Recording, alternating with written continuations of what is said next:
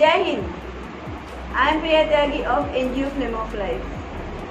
Today I am discussing in this video Article 141 of Indian Constitution. If you have come for the first time on my channel, kindly subscribe my channel and press the bell icon. Article 141 of the Constitution of India declares states the law declared by Supreme Court binding to all the courts within territory of India. Principles laid down by the Supreme Court is the binding.